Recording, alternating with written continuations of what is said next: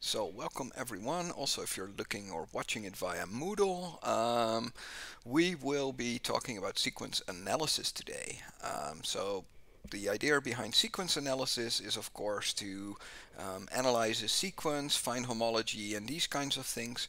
Um, so for today um, I first wanted to show everyone again the evaluation. So if you're a student um, then you can click on the link on the old presentation in Moodle. It's just a repeat of a slide I showed last week as well. Um, but um, yeah, do fill in the evaluation um, because that helps and it helps people. It helps me. So if you have any comments or questions or remarks about what we should do differently, um, then please fill in the evaluation and I will get an overview. Um, and it's totally anonymous um, unless you fill in your name somewhere. But uh, you can do it completely anonymous. So I just get the feedback. Um, so I'm not going to spend too much time. Last time we waited, but um, I think we will we'll just continue. So um, the exam, also a slide from the previous time. Um, the exam is registered and it should be in Agnes. I didn't get any mails from anyone that they could not register, so I'm guessing it's there. Um, the big issue here is, is that I cannot look into Agnes. I just have a employee account from the HU and um, if you have an employee account you can't even log into Agnes, which is a little bit of a shame. Um, so yeah, I can't check it if it's really there. Uh, and of course, um, you have to register. So register at least two weeks beforehand, but since you never know when they will close it, um, make sure you register as soon as possible. Alright, so previous assignments. Let's start doing those. So the previous assignments from last time, um, we can do a prediction here. Uh, I think. So let me check it out if I can do it. So the name of the prediction is uh, Did uh, Danny do his homework. Um, so the outcome is yes or the outcome is no. And I don't know how this works, so I'm just gonna start a prediction. That's an interesting fish emoticon. Um, because uh, the question for you guys is, did I do my homework or not? Or am I just going to do it on the fly for you guys? So um, let, let's start a prediction about that and see how it works. Um, okay, yeah, I got it. I got it. All right, so there's a prediction started. um, so you can you can you can click on yes or you can click on no and I think you can kind of put channel points on the answer and then the people who have it correct they um, they can actually win channel points. Um, so I'm, I'm I'm curious to see how this works. I never used it before so I'm just I'm just curious. Um, so we'll just wait wait for it a little bit. Um, of course, this doesn't really help the people that are watching via Moodle. They just want to see the answers to the assignments, but uh, um, we'll we'll see. Uh, I can always cut it out, so that, uh, that's interesting.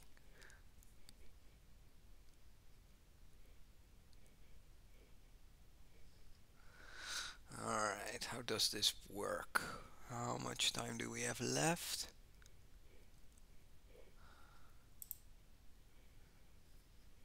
Alright, so I can see that one person actually voted. So I don't think that it will actually work if only one person votes. because of course then the only thing you can do is kind of lose your points because no one else is there to, to take the points. uh, this is so interesting. Like I love all of these Twitch features and every time that I'm streaming I'm discovering something new. Um, so let, let's see. Alright, so predict with channel points. I, I actually can't even see how it looks. Like I'm I'm watching myself, or at least I'm watching the stream via the dashboard. Um, so I don't count as a viewer myself, but I have some more options, like moderator options. Um, so we'll have to see. I think it doesn't work for mobile devices. That's interesting. That's interesting. I can see that you predicted yes actually in front of your uh, in front of your name as a as an additional icon. It's good that you think I do my homework actually, uh, Testosaurus. I'm I, I I'm uh, I'm curious about that. I was too late. Hey Commando, welcome, welcome, welcome to the stream as well. Um, yeah, so you just missed the prediction. I think that I can not I can choose the prediction outcome and the prediction outcome was actually no, I didn't do my homework. So I'm I'm sorry for the 10 channel points uh, that you that you that you lost.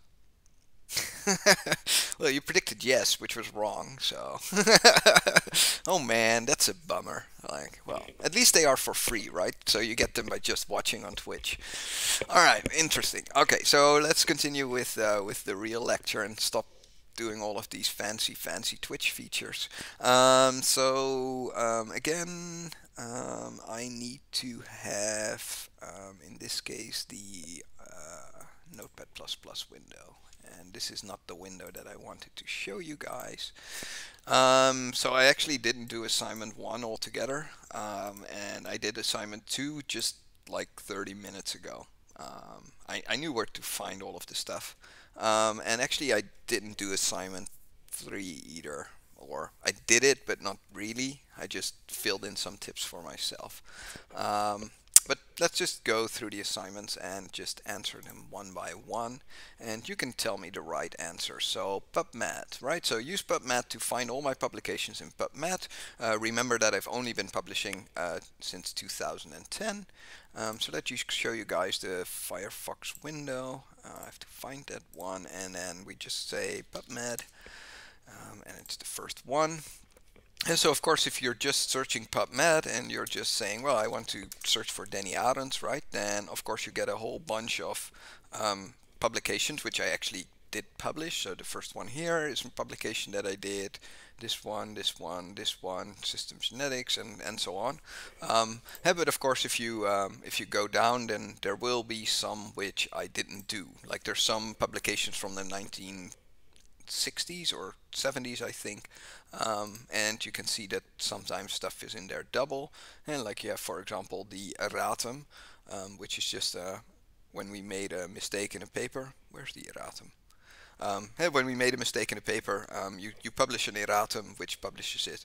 Um, but uh, so actually these all look pretty good. I think they, they kind of cleaned up the older ones. Uh, but uh, yeah, these are more or less all of my publications. Uh, you can look at the timeline and indeed, like they filtered out the, the older publications. Um, so that's pretty good. Um, so uh, why are there so many false positives? Well, there aren't anymore. So question B is there are no false positives. Just searching for my name is good enough. And then uh, the idea was, yeah, you get more wrong. Yeah, of course, because there's more people just called Arends. If you search for D Arends, um, then hey, you get a lot more. Like you get vitamin D and all that. And this is then published by Arends J. Um, but yeah, so um, hey, if you if you have a very common name, um, like Chinese authors um, generally have, like there's a lot of people called Wang um, or Li, then of course you get like hundreds and hundreds of false positives, and it becomes really hard to figure out who is whom.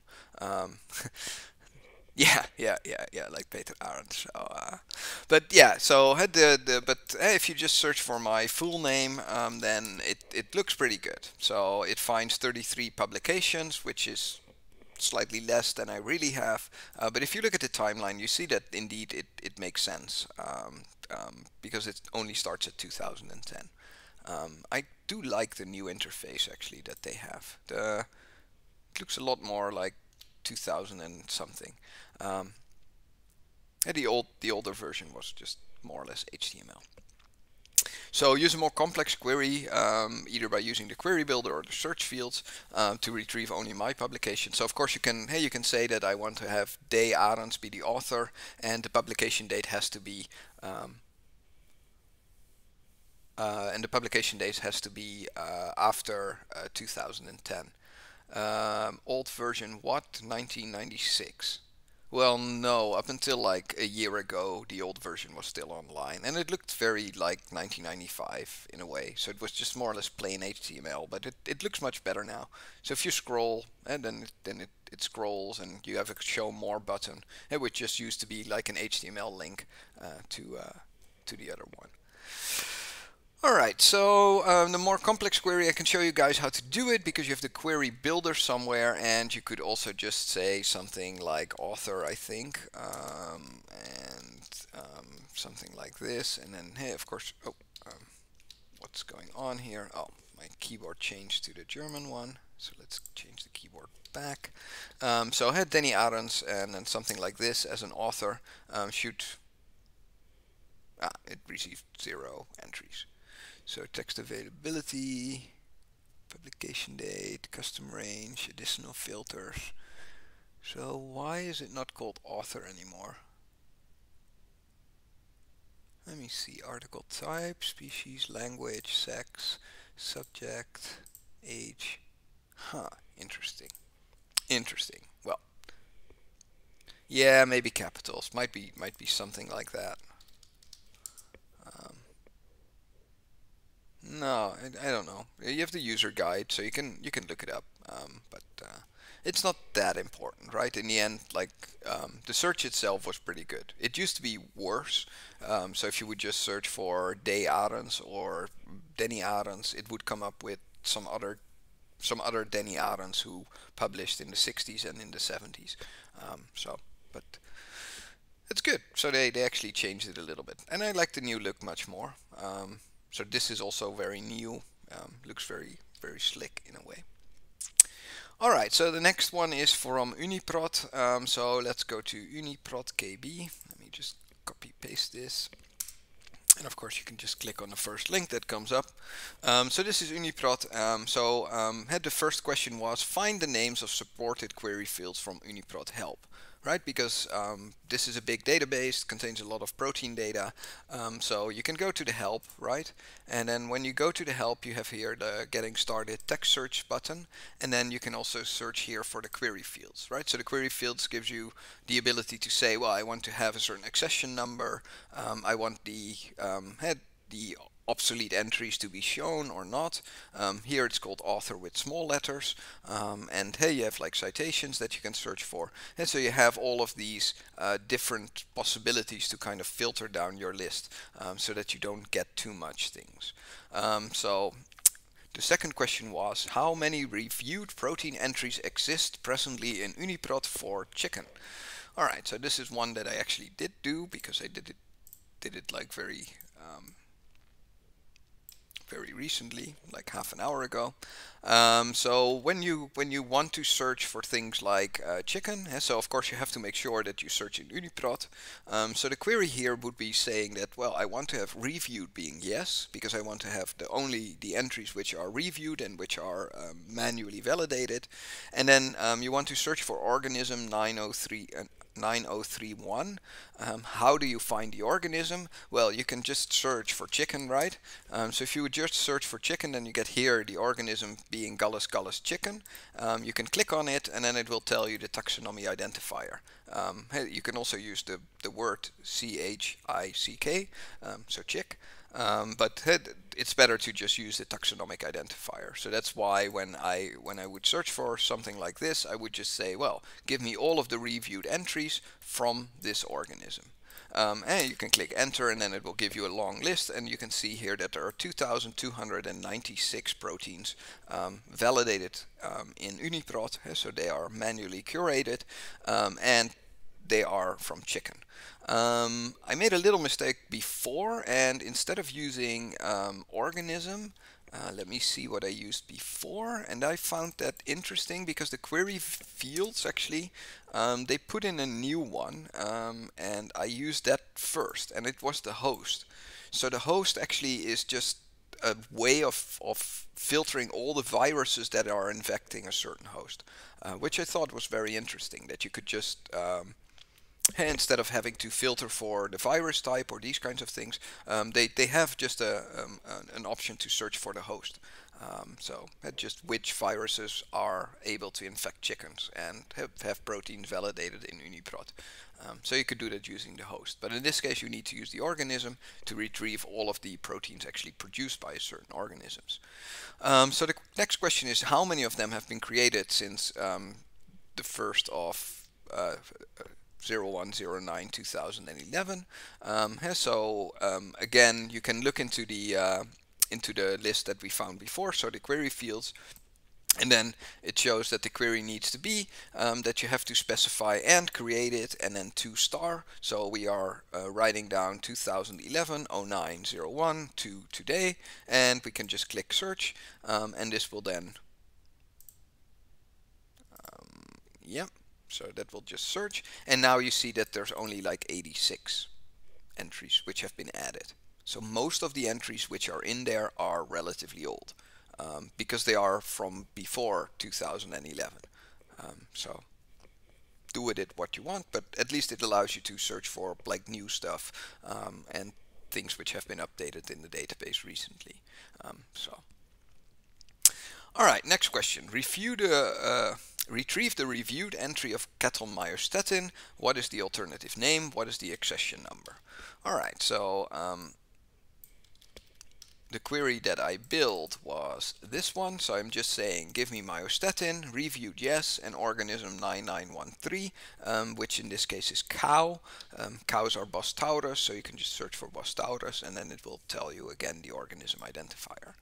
Um, so when I search for this, it actually comes up with three different genes, um, and why it comes up with follistatin and with the immunoglobulin here, I don't know exactly.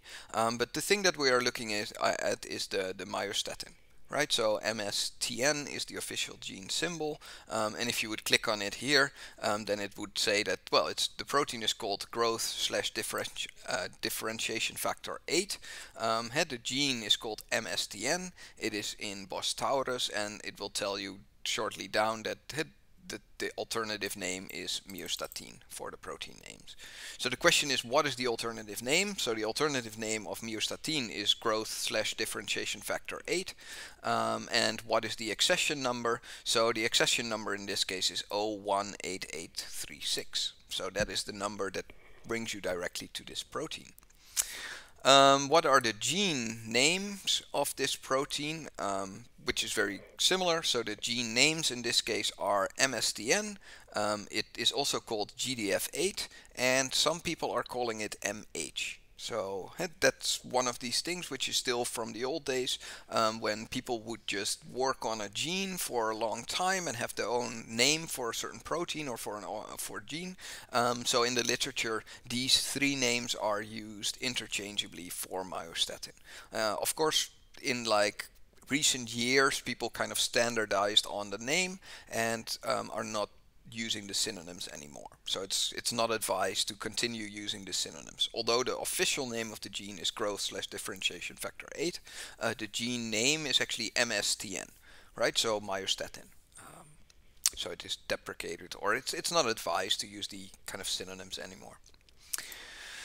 All right, to which Ensembl identifier can the bovine myostatin gene be mapped? So um, we are looking just for the Ensembl gene ID or the Ensembl transcript ID. Um, so if we scroll down a little bit, we see here that the Ensembl gene ID is uh, ENS BTAG 00001180 and that is of course the gene ID. Of course the gene ID, since genes can produce multiple proteins, might not be good enough to identify exactly which protein they are looking for. Um, so if you scroll down a little bit, um, then you see here that there's the protein identifier in the string database. So the string database is the database which has all of these interactions to other proteins. Um, and here you see that this is the Ensembl protein identifier. And if you actually go down, then here in the poly, uh, polygenomic database, it also lists the transcript right? So if the myostatin gene happens to make like six different transcripts, and then of course these are six different proteins, um, they will all be named or they will all be available under the same name. Um, but hey, of course you have to make sure that if you are working on a certain transcript, that the transcript that you are looking for is the transcript that that that is there.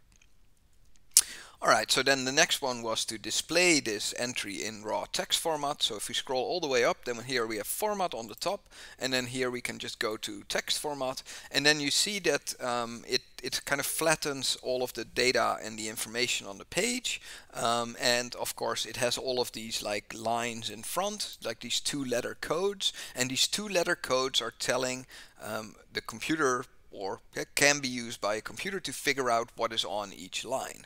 Um, so what might be on a line is, for example, something like ID. So ID, of course, means this is the identifier of the gene. So the identifier of the gene is GDF8 bovine. It is a review gene and it is 375 amino acids long. And then we go to the next line, which is the uh, AC identifier. So the AC identifier is like a list of external um, external identifiers for this gene. So of course the, the first one is the one from the current database, um, but you can see that it's also um, in the same database under different names. Um, and being under different names probably means that these things are probably uh, different splice variants of the original gene, right? Like I told you, a gene has multiple proteins, so it could be that there's multiple proteins there. Um, then we have the DT identifier, which is the, the date at which it was added or updated. Um, so you can see that it was originally um, posted on my birthday in 1998. Um, that's actually why I took this gene because the sequence was discovered on my birthday and it's a really really important gene um, because it's this gene which produces double muscling. Um, so if you knock out the myostatin gene um, there is no break on on um, muscle growth. Um, so had things like uh, sheep or uh, Belgian blue cattle, um, they have this double muscled phenotype, so they, they have uncontrollable growth of their muscles, um, making them interesting for breeding purposes um, because of course muscle is, is very tasty. So um, it, it's a good or it's a it's a good phenotype of course, you can go through all of these, like what does the OS mean? Well, the OS is the uh, description of the is the, the original species name. So in this case, Bos taurus. Um, then you have the DR entries, which are further down, and the DR entries are more or less free entries where people can more or less write down, but they, they generally point to all kinds of external databases and annotation to the gene. And then you have the FT ones, and the FTs is more or less how the gene looks and what how the gene is built. Right, so you see that there's a signal peptide, yeah, so the first 18 amino acids of myostatin code for the signal peptide, meaning that it is transported to a very specific location in the cell. Um, then you have a propeptide, then you have a certain chain, um, and then you have a site, which is a cleavage site. Then you have, so it just, so the, the FT identifiers are nothing more than just a description how um, or coupling the amino acid sequence to certain functional sites of the protein. Alright, so then we go back. Next question, so to H was to blast the myostatin gene um, uh, against the UniProt database. And so we just have a button here called blast, so I can just click it and I can just say go. And go and then it will start uh, a blast search for all proteins in the database which are similar uh, to this one, um, which would probably allow you to in, in, infer some kind of evolutionary relationship between different genes. So um, of course, hey, when you do the, if you go to blast and then click the advanced, you have the option to more or less set all of the different um, different uh, parameters. And so why we, are we using the BLOSUM 62 matrix? Uh, we will talk about that in the lecture today. Um, have why BLOSUM matrices are used when you want to compare proteins together um, compared to other matrices, for example, for DNA. Um, this will take a little bit of time, so I actually should have saved the previous blast search that I did so that I could show you the answers. But those were the UniProt, so we'll just keep this running and wait until we get it. Alright, so then the next was, uh, the next assignment, assignment 3, was um, all based on Biomart. And of course we first needed to install Biomart, so I hope everyone was able to um, load or install the Biomart library from online. Um, sometimes has some issues, especially if you're like using an older version of R, um, because um, the script is outdated. Yeah, yeah, yeah, yeah. It's it's for the older. Yeah, yeah, yeah. I know, I know. So because you now have to first install this Bio BioC Manager, um, and it tells you on the website. I think it still works though. It it should actually. Um, let me see if it still works. No, no, no, no. So it actually tells you that you have to use the manager to install. But at least that's fine. So, and they, they recently changed that. This is a change which was done when they launched R 4.0. Um, and so in the older versions like 3.6 and 3.7 you were still able to just have this two liner to install it.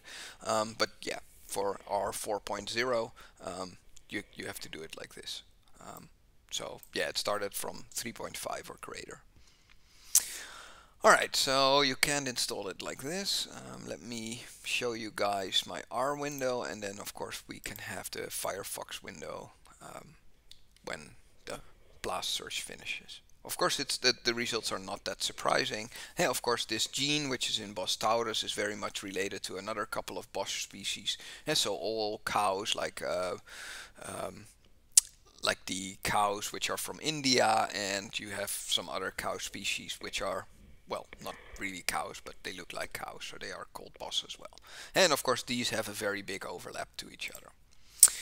Alright, so let me get my answers here. So, and the first question was, so 3a was connect to Ensembl. So, um, of course, we can just load the library Biomart. Um, I have it already installed, so I don't have to uh, do that. And I'm really hoping that Biomart will work um, because I have been having some issues last week and it just gives me failure to connect errors and um, sometimes it switches to um, different mirrors. So yeah. So the Ensembl side is not responding and then it tries like the Asian mirror um, the one in the US and if all of them are down then we'll just have to keep it like it is. Um, but it's been an issue with Biomart the last couple of weeks actually. I don't know exactly why that is, because it used to be one of these services which was really responsive and really used a lot. Um, but it seems that in the last couple of weeks they have been having some issues with their hosting or these kinds of things. Um, but yeah, it doesn't doesn't seem to work at all. It it's not able to switch to mirrors, which is just a, a, a shame because it's such a nice tool, especially for R. If you want to annotate genes, it's kind of the easiest way to do it. Um, and if it doesn't work, I, I can't, of course, not show you how it's done. But I will put the script online um, so that you guys can just run the script and hope that it works for you guys. Um, and it, it should, but because it's just busy. Um, but there might be some server issues there. Alright, so this is not going to work, so I'm just gonna leave that there. Alright, let's go back to Firefox quickly because the blast search did finish. Um, hey, so um, let me zoom out a little bit. And so you see here that the um, that it's 100% identical to, of course, Bos indicus, um, Bos cauran, uh, caurus, and Bos taurus, which is logical, and then also to Bos mutus. So these are, of course, all um, cow species. Um, if you scroll down a little bit, and then you see that it's indeed similar to all of these other.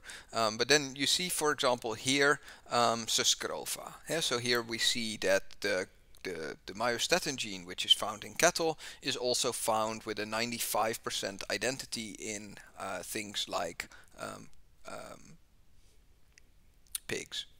Um, we also have the Taurotragus derbianus. I have no idea what that is, um, but um, yeah, so it's the giant eland. So it's a giant elk, kind of.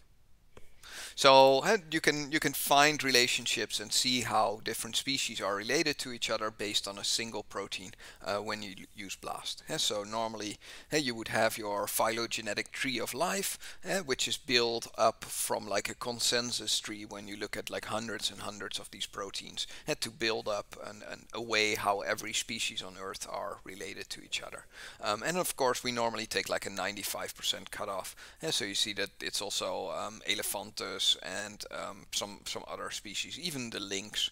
Um, but this gene is very well preserved. Um, hey, even in cats, um, the the gene is not that much different than the gene is in uh, in cattle. All right, so those were the um, the assignments, and let me switch back to PowerPoint. Alright, so I have to get my PowerPoint window myself. So those were the solutions. The Biomart stuff I will put online so you can run it. Um, probably have to do it later. Early in the morning would probably be the best um, because later in the evening the Americans start using it so then it's even more busy um, and, and if you use it early in the morning then you're only bothered by the Chinese and Indians using uh, Biomart. Alright, so the overview for today, what are we going to talk about today? Today we're going to talk about genome annotation, right? Because we're doing sequence analysis and sequence analysis means that um, we have a, a genome sequence or we are we are going to produce a genome sequence and then we want to annotate this genome sequence. So where are the genes located? Uh, where are things like microRNAs, tRNAs, and of course all of this is done using the homology trick. So I will tell you what the homology trick is and um, I will show you how that is used. Of course when you talk about sequence analysis you also have to talk about sequence alignments um, and sequence alignments um, are more or less the core of bioinformatics. So when we when bioinformatics started, uh, the reason why bioinformatics started was because people were looking at sequences and, and they were generating sequences in the lab and they needed to do something with these sequences. And of course, the first thing that you do when you have multiple sequences is look to see if there's an overlap. So if sequences are similar in a certain way. Um, and of course, hey, we can do pairwise alignment. So you have two sequences and you want to kind of find the best match between them. Um, we have things like multiple sequence alignments and we have structural alignments um, in which you don't really use the sequence, but you use more or less the structure, so the 3D structure that is produced by the sequence. Um, since we're talking about sequence and sequence um, analysis, I also want to talk about DNA motifs um, because they are a very useful tool um, to scan for things like transcription factor binding sites or um, uh, micro or mRNA uh, or microRNA binding sites in the genome. Um, and generally, uh, the matching is not 100% exact, right? Proteins, when they bind the DNA, um, if if they bind like a six or seven base pair sequence, if that is their recognition sequence, then of course, if one of these six or seven base pairs is different, then it still recognizes this sequence. And DNA motifs gives you uh, is a is a computational way of storing these um, kind of uncertainties about well, sometimes there's an A here, sometimes there's a C here, and then you can use these DNA motifs to predict where proteins will bind. Um, and then in the end, I wanted to say like I have like two or three slides about genome assembly um, using whole genome sequencing um, and this is more or less about how do we now do de novo assembly um, when we have no genome sequence available to test against. Alright, so the genome annotation and the homology trick is actually very very easy because uh, we just infer the function from a homologous sequence with a known function. So we have a lot of sequences in a database, right? Here we can use UniProt or some other database which has like uh, protein sequences or a database like Ensembl which has DNA sequences. Um, and hey, if we know um, the sequence or if we know the homology of one sequence, so if we know what one sequence does, we can then infer or more or less assume that all of the sequences which are very similar do more or less the same thing right? So if you have, for example, S2, we know what the sequence um, for hemoglobin is, and we know what the sequence is for uh, tyrosine kinase, for example, in humans. And when we sequence a new species, and then of course what we will do is we will take the, the predicted protein sequences and then of course match them to the closest sequence like using BLAST. And then of course when we find a good hit, eh, then we are saying that, okay, so hey, I now have this predicted protein in my species where I created a new genome sequence and this protein is probably going to be something like hemoglobin or it is something like actin. Eh, and this works of course because many species are very very closely related and eh, the relatedness is, is in kind of this tree. And so why does this work? So uh, the, the reason why this works is explained by Charles Darwin already in 1859 and he explained that when you have sequences and the illustration is actually done uh, by Charles Darwin when you have sequences um, then species are related to each other and these relatedness they, they share, right? All birds have wings, so if you see a species which has wings, then there's a big chance that it's a bird. Eh, of course, this is not always true. There are other species which have wings, like um, bats, um, and they are not birds, but they are mammals. Eh, but in general, if you see an animal which has which has wings, um, then 99% out of the time this will be a bird. Um, and, and that's just the way that these things work. And this homology trick works because there is one common ancestor from which all life more or less started. Um, and if you would look at the different domains like uh, plants or animals, um, then these domains also generally have one founder uh, which kind of sprang forth the entire domain, and meaning that at a certain point they were all similar. And of course these these sequences they they drift apart and they they the sequences change. But in the end, like um, a hemoglobin sequence doesn't change into a ubiquitin sequence right? It, it's these are individual sequences. So the homology trick works because we have a common ancestor. so um, sequences are of course changed during the course of evolution. Things like mutations, insertions, and deletions um, have what we already talked a lot about these in, in the context of DNA. Um, and then we have things like chromosomal rearrangements. And chromosomal rearrangements are bigger changes which occur during the course of evolution. And that is, for example, a duplication. Um, so a duplication means that a part of the of a chromosome or a whole chromosome is duplicated um, and this duplication is then transferred into the children and is stable. Um, so duplication occurs a lot and genes tend to be duplicated during the course of evolution. Um, not only that, but we have things like inversions. so it sometimes happens that a gene uh, which is located on the positive strand um, is actually when it when the DNA is copied, you have a, a double-stranded break twice, and then the part in the middle is just wrongly inserted so it, it's inverted um, and of course this creates all kinds of incompatible problems and one of the reasons, or is probably one of these reasons why speciations occur. And because of course if you have chromosome 2 and half of your chromosome 2 turns around, and then of course you are unable to mate with people who do not have that inversion anymore. Besides that, we have translocation. So translocation means that a gene moves from one chromosome to another. Um, and eh, this also happens, not very frequently, but it does happen. And of course here, because like DNA uh, multiply, or if, if you if you look at DNA, then when DNA um, gets, um, if you have a sperm and an egg cell, and then of course these these have to be homologous for um, chromosomal pairing to occur.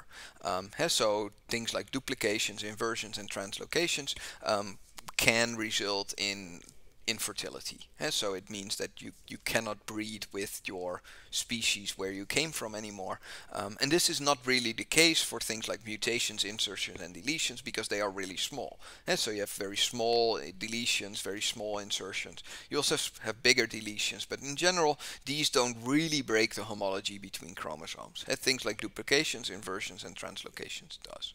And so the correspondence between homologous sequences is of course not exact. So that is why a lot of time was spent in the early days of bioinformatics to find a method that can do inexact uh, pattern matching uh, between sequences. And so, and in the end, this became pairwise sequence alignment. So inexact pattern matching, of course, for a computer, inexact pattern matching is relatively hard. Um, a computer is very good at determining uh, if two things are the same, right? If you have two strings um, which contain the exact same word, and then a computer can just quickly match these things together. But if one or two letters in these words are different from each other, and then the computer has to calculate like a distance score, and then based on this distance score, it needs to decide if these two things are equal or if they are not equal. Um, and that is, of course, one of these active fields of research still. And so when we look at pairwise alignment, we have, for example, a gene sequence of interest and we have a gene sequence with a known function. And so I just wrote down uh, uh, two sequences here. And now the question to you guys is, what is the similarity between those, those sequences? If, if the if there is a similarity between the sequences, then we assume that is our more or less starting hypothesis using the, uh, the, the, homology trick. And so that is the hypothesis is that there is a similar function of this protein which is being made by this DNA. And of course for humans it's relatively easy to just look at a sequence and say, well, these things look relatively similar. Um, but for a computer this is really, really hard. So this is a really, it's, it's, it's not a, well, it's a more or less solved question, um, but it's still a question where hey, you have an active field of research and you can still contribute to this field by making the algorithms um, go faster. Um, because hey, it's it's not a well, the the idea of matching two sequences together is more or less solved, but the the computational part, of course, can always be done uh, more optimal. And so this is the idea, or this is what we want to know in the case of pairwise alignment. So does anyone in chat have an idea already if these two sequences are similar or if they are not similar? It depends on the perimeter of similarity. Yeah, yeah, but that's the, that's the thing, right? That's that's the hard part. Like how similar is similar and how dissimilar is not. Hey, so they're not this now they're not the same length, of course, but that's because hey, sequences change. Hey, there's little point mutations changing individual base pairs. Hey, you have like little insertions and deletions, which might not be. Hey, but if you just um, with human eyes look at this sequence, and then you would say that there's probably something similar, right? Because they all end with ATTT, ATC, right? Yeah. So, eh, but for you as a human, this is relatively easy to determine. Eh, to, to see and look if two things are similar, but for a computer this is a very very hard task. Because a computer only works with ones and zeros in, in, in internally, so it can do it can say, well, a 0 is equal to a 0 and a 1 is equal to a 1. But when you give it these, these strings of characters, then for a computer it becomes relatively hard to figure out if two things are similar with a certain similarity threshold. Alright, so um, the computer could compare the single letters. Yes, it can compare the single letters, but if you have a, an insertion right? So if, if one sequence is one longer than the other one, then how does the computer deal with it? Um, do you allow it to introduce gaps? And if you allow it to introduce gaps, where should it introduce gaps? And should it uh, optimize the number of matches or should it select against the number of mismatches, right? So there's there's a lot to think about uh, when you are designing these kinds of algorithms. The, the the thing is, for example, do we force these things to be the ending and the beginning? Um, do we force them to be equal um, before we start matching? And so computers can indeed compare every single letter, um, but there can be a shift, right? If you have one sequence and you just move them all by one, and then of course the similarity is not the same, but the computer cannot simply match them one by one. And so there has to be an, an algorithm for this to kind of figure out how you can figure out what the similarity is. And of course in DNA um, you have to remember that there is a difference between transversions and translations. So changing an, an A to a T is much more common than changing an A to a G. So if you see an A to T mismatch, then this is a relatively weaker mismatch than an AG mismatch um, because of the way that DNA works. Um, and the same thing holds for proteins.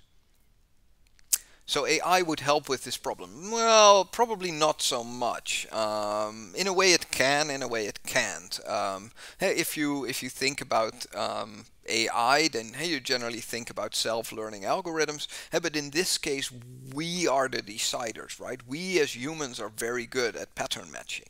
Hey, if you just um, think about these little games which you used to have in like these little books where you would have like a square filled with letters and then you had words which were inside of this square with letters and you had to find them, right? Humans are very, very good at that you can you can look for eh, you can look at the word and then you just scan through the matrix and then you you find these words because our our eyes and our brains and all of our eh, the way that we are built is we are built for pattern matching we are built to recognize faces from from other humans and that's why people see um, their toast, right? And they look at their toast and they see a photo of their favorite rock star on there. Then they make a photo of it, they post it online, and like 90% of people are thinking like, well, I don't see anything in this toast, but people are very good at recognizing patterns, and that's that's one of our strengths, and that's because our whole body and brain is is trained to to look for patterns all the time.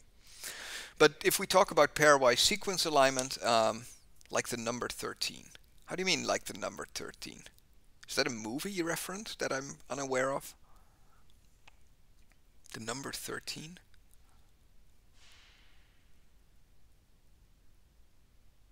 Ah no, 23. I'm lost. I'm lost, Commando. Um, but if you want to do pairwise alignment, you mean 42? No, 42 is the the answer to life, the universe, and everything. Not not 23, and also not 13.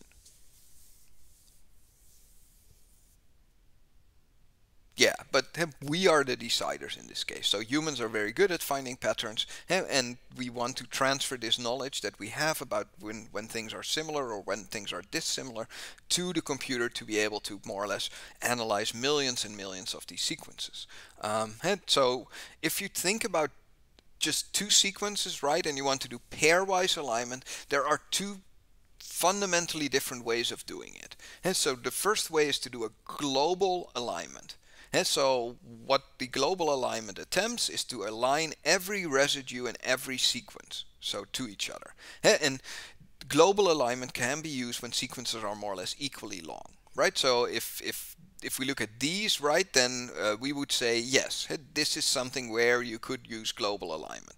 They, these sequences are they are different in length, but they are not too different, right? And we can also see that well here it starts with a GT, and so that might match here at the beginning, and then we have a CT, which is this part here, right? So you would say that well there's a little AC insertion in the first sequence, which is not found in the second sequence, right? And then we have CTG, which is an exact match here, and then we have this part A, so there's another um, um, GA insertion, right? So these two sequences are completely similar, except for the fact that this one has a G more at the beginning.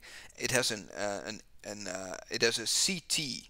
No, it has an AC insert and it has a GA insert. So there's only like three you only have to do three modifications to come from this sequence to that sequence right? So three mut mutations more or less would be enough, um, meaning two insertions and one kind of point deletion to, to block out, right? So these sequences are more or less suitable for uh, for global alignment. So global alignment is, is when you have two sequences which are of relatively similar length, and what you are saying is, well, I have a protein sequence of 140 amino acids, I have another protein sequence which is 120 amino acids, and align these as best as you can.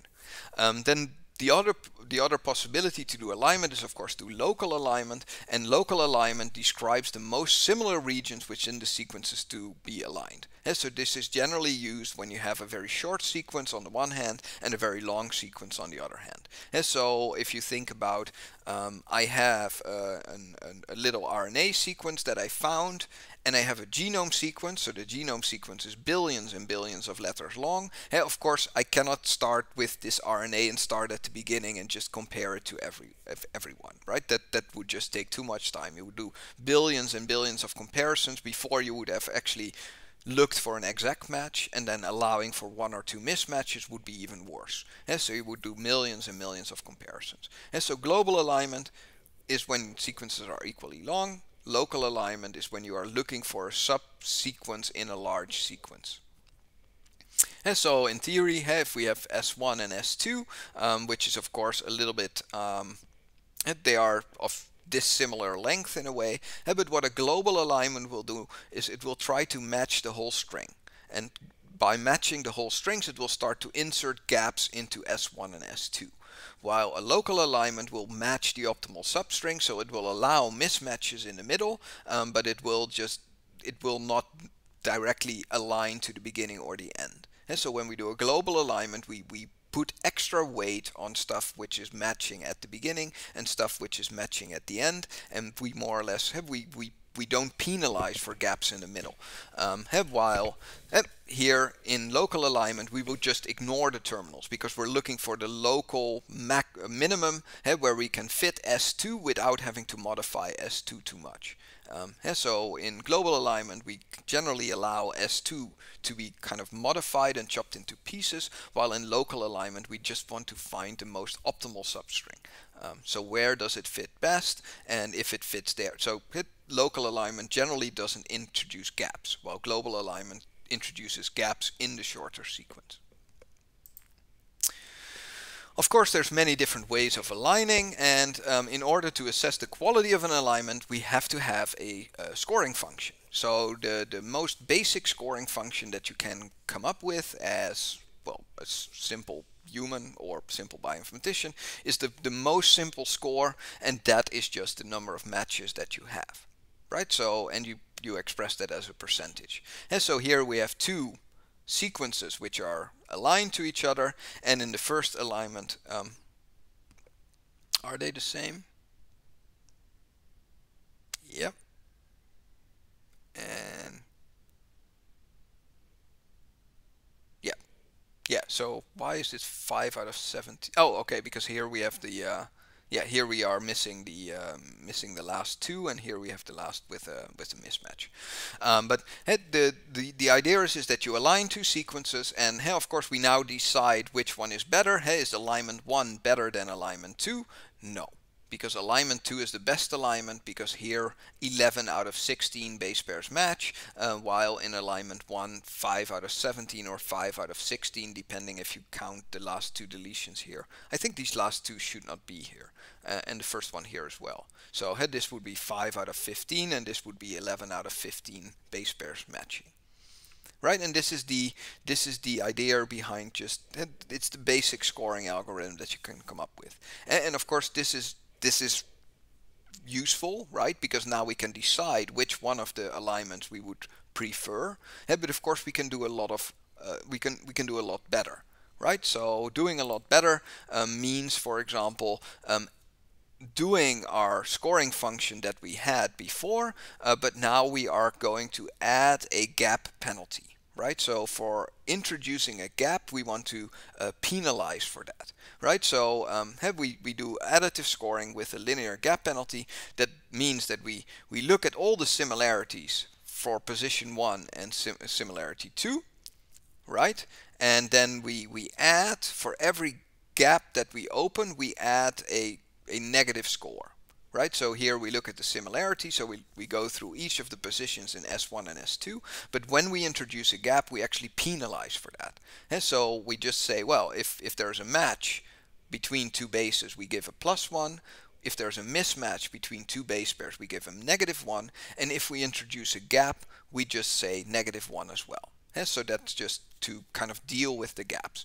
The question here is, is should you penalize gaps as much as, um, as mismatches? right?